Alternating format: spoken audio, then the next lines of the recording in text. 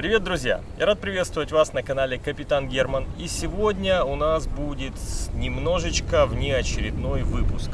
Как вы знаете, если кто не знает еще, то эпидемиологическая ситуация в мире достаточно жесткая. То есть большинство границ закрыты и э, люди сидят на домашнем карантине без права выхода на улицу.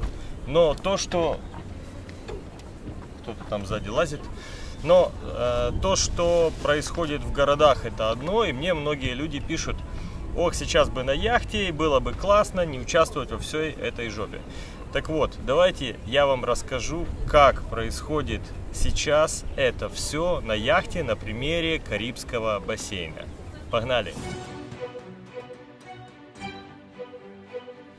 Когда был объявлен карантин COVID-19, а, большинство стран э, вначале не реагировали никак. Все аэропорты были открыты и люди свободно перемещались. Естественно, из Европы на Карибы начали завозить вирус.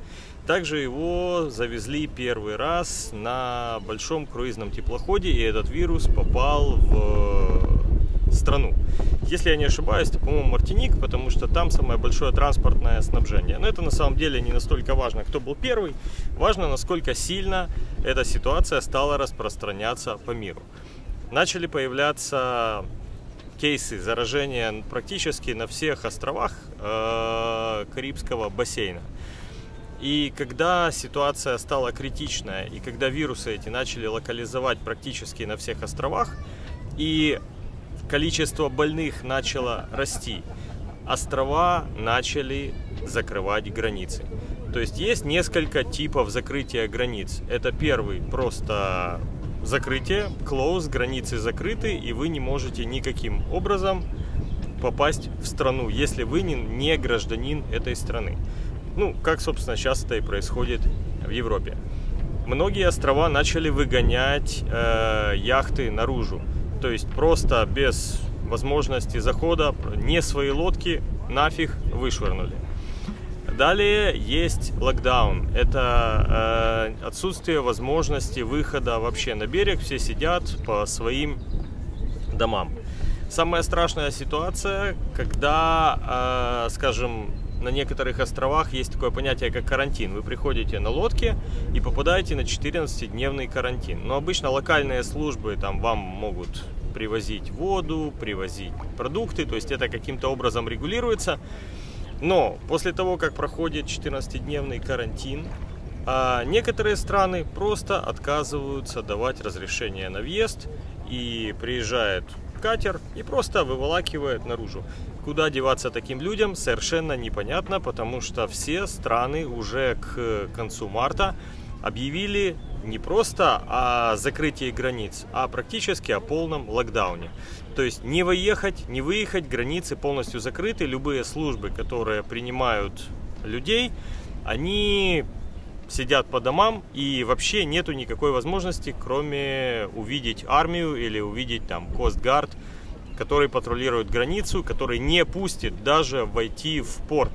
Катера стоят на входе в бухту и просто разворачивают всех вне зависимости от ситуации, у кого что случилось. Мы стоим сейчас на Ямайке. А, у нас, когда мы зашли из Доминиканской республики, на Доминиканской республике было 62 случая заражения. А, сейчас там уже порядка не знаю, ближе к тысяче человек, наверное, введен комендантский час. И вообще комендантский час, кстати, введен на многих островах. И если взять карту, вот давайте я вам сейчас открою и покажу, э, что в каком состоянии на Карибах. Мартиник закрылась 23 марта. Санта-Лючия 17 марта. Доминика с 22 марта. Тринидад Тобаго с 23 марта. Гренада, Сан-Винсент и Гренадины, Гваделупа, Монсеррат, Ангила, Антигуа, Барбуда, Британские острова, Пуэрто-Рико, Доминиканская республика, Гаити, Ямайка, Куба, Каймановые острова, Северные Карибы, включая Багамы.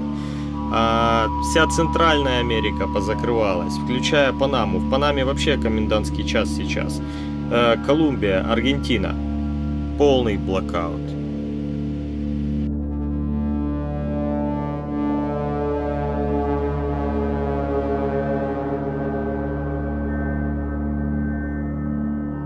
Далее, касательно того, как э, это все происходило у нас, как мы переживаем карантин, это видео будет немножечко попозже. Я вам расскажу уже детально с момента захода с Доминиканской Республики о всех наших перепитиях, о том, как нам помогали посольства различных стран и как мы оказались все-таки разрешенными стать на карантине, хотя границы еще официально не были закрыты. Но это все будет в отдельном видео. А я хочу вам пожелать быть здоровыми и яхтсменам, которые оказались в это тяжелое время в местах, где есть шанс, что вас могут развернуть. Просто сочувствую, держитесь, потому что это просто полная жопа. Здоровья вам, друзья. До встречи.